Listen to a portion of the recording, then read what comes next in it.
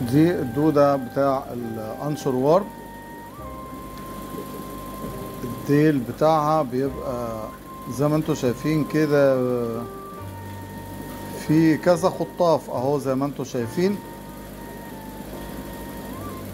بيشبك في جسم السمكة لما بتيجي تطلعها لازم تعقم. بعد كده الجزء اللي تم النزع منه الدودة دي.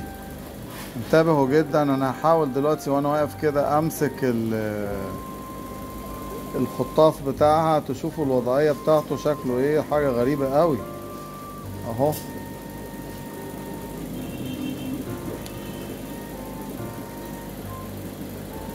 شوفوا كام خطاف في الآخر كام خطاف. كل ده بيبقى في جسم السمكة للأسف الشديد. ده دودة الأنشر وورم